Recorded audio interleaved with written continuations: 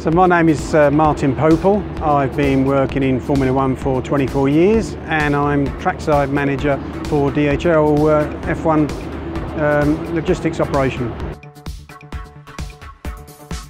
Um, it's a logistical um, uh, problem that we have to get over.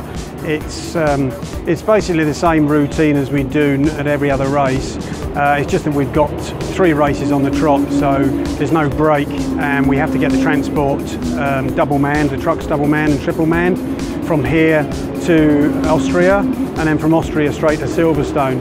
So we're against the clock from the whole way through. So uh, it just means more people being thrown at it, a lot more hours working, and uh, most of the guys won't be getting a break for about three weeks really. Yeah, everything's fine. It's uh, at this at this stage of the weekend. It's just like a normal race for us. It starts in earnest um, after the race is finished. So um, we're doing the race between the races, and um, everything gets packed down on Sunday night. Um, all the various different elements within DHL will be packing up, loading trucks, and then be setting off um, with extra drivers to drive to Austria.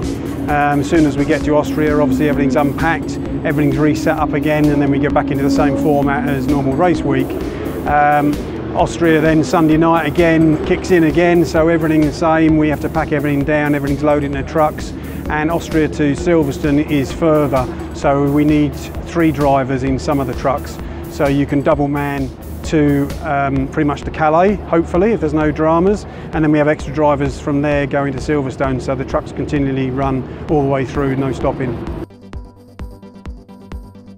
Um, mine was a lot easier than what the guys are on the ground because they actually drove from the UK, drove out here and they set everything up. I arrived on Wednesday. Um, I have to set up the motorhome which is behind us, so that's our new, our new piece of equipment this year. So you know, set that up. Um, and then basically it's making sure everything's running on the ground um, uh, as it should be, liaising with the teams, uh, sorting any problems out with the guys, and obviously now we're working on um, the logistics for the um, the two drives, one from here to Austria and Austria to Silverstone. So we're working on that, um, along with um, the races coming forward as well, because we work three or four races in advance. So we're booking forklifts, we're arranging trucks, um, getting everything planned. So you're working usually three or four weeks in front of yourself. Okay, so here you see our new um, motorhome hospitality facility. Um, this was first, uh, first race was Monaco um, and we were inside a car park. So this is the first time it's sort of been out in public um, in the paddock line. Basically it's a, um, a container as our office with an awning around it, which um, doesn't look like a sea freight container, luckily. So it's been uh, yellowized. And we got space here for um,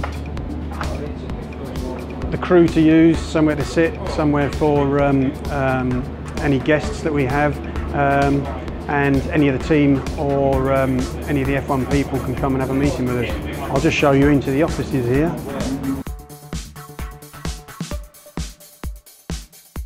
So the first office here is a meeting office, just a very small meeting office suitable for four to six people.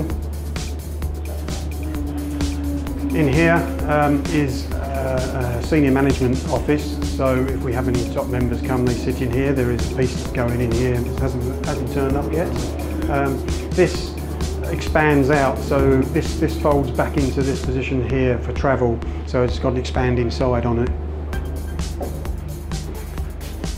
And then we come into the main office area. Um, so there's two of us that work in here most of the time, um, and there is space for another two or three workers in here as well, um, as we require. So this is my office space during the weekend. Um, so this is the office away from the office. Um, and basically myself and my colleague, we're working on all the logistics going forward. So we're planning all the, um, the triple header um, as we just spoke about.